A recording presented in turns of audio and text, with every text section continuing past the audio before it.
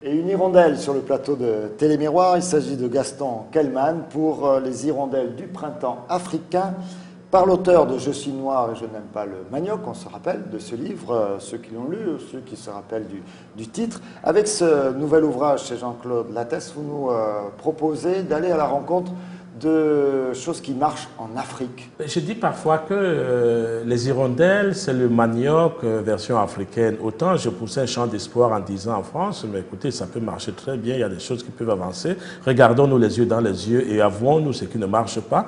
Autant sur les hirondelles, là, je me tourne vers euh, les États africains. Je commence ce livre en disant l'Afrique n'existe pas et c'est pour cela que je crois en elle. Parce qu'aujourd'hui, l'Afrique, personne n'est capable de vous définir ce que c'est que l'Afrique. Hein. Il n'y a pas un organisme vraiment qui, qui représente l'Afrique. L'Union africaine, elle est ce qu'elle est. Euh, quand vous rencontrez un Marocain, vous dites, oh là là, j'étais en Afrique, euh, c'est vraiment beau l'Afrique. Hein. Ça veut dire j'étais en Afrique noire.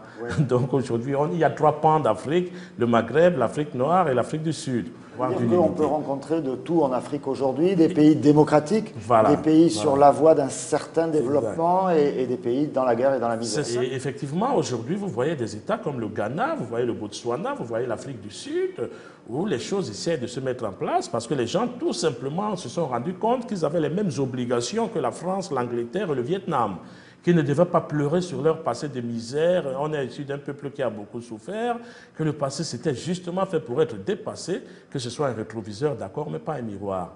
Donc des nations africaines sont rentrées dans cette, logique. Euh, cette approche de, la situation. Vous dites, euh, ben aujourd'hui, les gens sont conscients qu'il euh, faut tourner la page des, colonies. Certes, ça a été euh, difficile, ça a maintenu l'Afrique dans un état d'un certain sous-développement.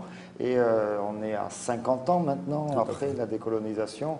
et parmi l'élite africaine, on est toujours dans la culpabilité ou dans la culpabilisation de l'occidental, où, on se dit que, bon, mais on a aussi notre libre arbitre. Vous savez, la question fondamentale que je pose dans ce livre-là, elle est, je ne sais plus à quelle page, pour creuser un puits en Afrique aujourd'hui, qu'est-ce qui justifie encore qu'on ait besoin d'une association française? Qu'est-ce qui justifie que pour creuser un puits en Afrique, on appelle à la générosité de l'association française? Alors même que juste à côté du puits, on voit un palais de mille et une nuits qui a coûté des millions d'euros. Et pour aller à l'essentiel, qui est le puits, pour un village, une école, un dispensaire, qu'est-ce qui fait aujourd'hui que pour ce qui est essentiel à la vie d'un être humain, nous continuons à appeler le bon Dieu euh, Allahu Akbar ou bien Inch'Allah ou si Dieu le veut, ou alors que nous appelions le blanc parce que c'est lui qui doit prendre en charge ce qui est essentiel pour nous, alors que les voitures de 150 000 euros, c'est justement parce qu'il y a un fonds de commerce que tout le monde exploite.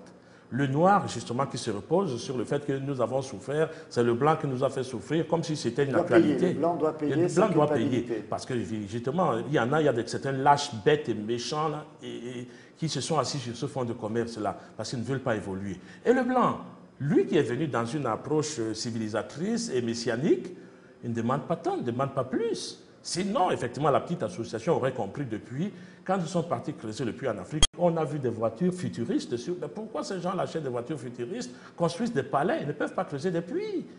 Ils auraient compris ça depuis, mais eux aussi sont fermés, ils ne peuvent pas voir ça. Ils voient ils sont contents de faire un puits. Ils sont contents voilà, de faire leur messianisme. Et si bien qu'un puits qui devait coûter 500 euros, par exemple, parce qu'il va, faire, il va falloir de faire deux voyages, euh, faire deux autres voyages, faire de ceci, cela. Ça coûter 10 000 euros. Pour voilà, 10 000 euros pour un puits de 500 euros. Alors qu'il aurait suffi que la personne, et la personne qui appelle les gens pour creuser le puits, c'est l'élite. Hein. Ce n'est pas le villageois qui attend seulement à être éduqué. Si vous venez dire aux villageois, on veut le puits, prenez deux pelles et deux pioches, on va creuser notre puits, le villageois applaudit.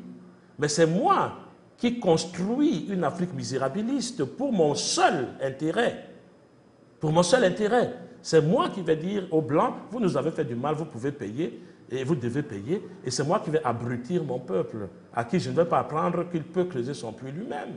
Et c'est moi qui vais vous parler du néocolonialisme, du mal, de ceci, cela. Alors, quand c'est moi, c'est qui? Ce sont les, présidents euh, de, non, non, non, non, c'est l'élite, c'est l'élite africaine, c'est l'élite intellectuelle? Mais c'est l'élite intellectuelle, parce que ce n'est pas le politique qui construit un peuple, c'est l'intellectuel qui construit un peuple. Socrate, Jésus-Christ euh, et même Mandela, tous ça, ils ont eu des approches intellectuelles. Insuffler une pensée